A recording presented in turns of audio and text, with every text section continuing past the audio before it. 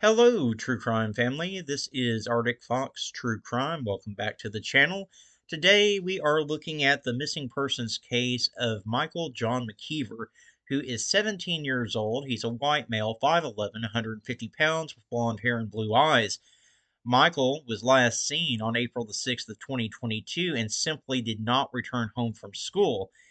His parents and family are obviously very concerned for his well being and worried about him, as this is very out of character for Michael to disappear like this. Unfortunately, we do not have a clothing description of what he was wearing when he last dis- when he was last seen. If anyone has information that would assist in locating him, you're asked to contact the Mount Pleasant, South Carolina dispatch at 843 743 7200. Guys, I cannot stress that we need to get this young man's face out there on social media. He's been missing since April the 6th, and now it's June the 7th. So it's a full two months that this young man has been missing.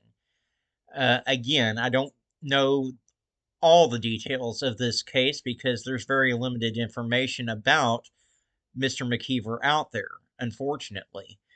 Um, what I do know is that the parents are very concerned. They are expressing their plea to try to bring him home on social media. And so we need to do what we can to try to bring this young man home.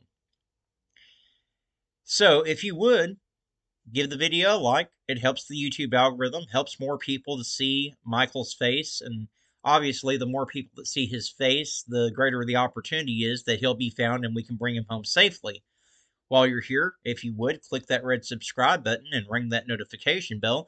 That way, you'll always be alerted whenever I upload another missing persons case.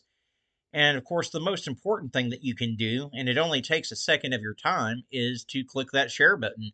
Share this to your Facebook, your Twitter, your Instagram, wherever you've got social media. We need to get as many eyes on Michael as possible so that we can bring him home safe and sound.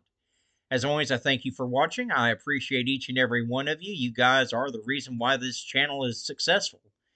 Be kind to one another out there, and I'll see you in the next video.